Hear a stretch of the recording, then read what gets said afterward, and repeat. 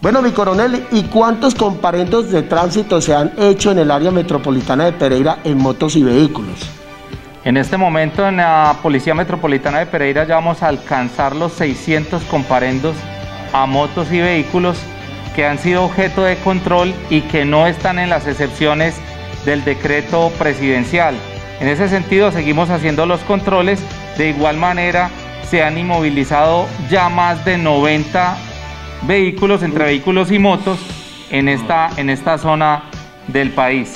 Establecimientos comerciales, ¿cuántos se han sellado por incumplir las normas, las medidas? Hemos sellado ya cuatro establecimientos en el área metropolitana.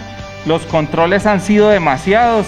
Vamos ya en este momento superando los 4.500 comparendos al Código Nacional de Convivencia y hay que recordar que la multa que debe pagar un ciudadano por un comparendo de estos puede oscilar entre los 930 mil a un millón de pesos como que no es suficiente, quédense en casa, por favor. Esta, esta epidemia está acabando con la salud de muchos los seres humanos. Quédense en casa. Sí, la recomendación es definitivamente que cumpla el pico y cédula, que son las medidas administrativas de las alcaldías locales.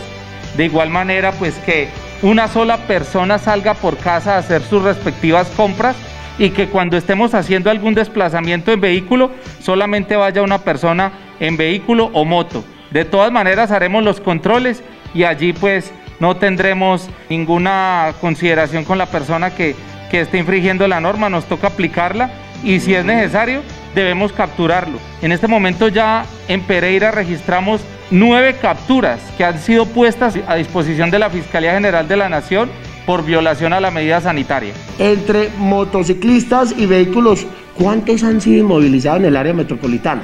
Bueno, en este momento ya superamos los 90 entre motos y vehículos. Los controles son diarios. En este momento ya debemos tener un número superior a este porque los 10 puestos de control que tenemos distribuidos en diferentes puntos de la ciudad siguen haciendo su trabajo, muchos de ellos con el eh, apoyo de tránsito municipal para de una vez ejecutar el comparendo. Y en las vías nacionales, terciarias y secundarias también seguimos haciendo el control.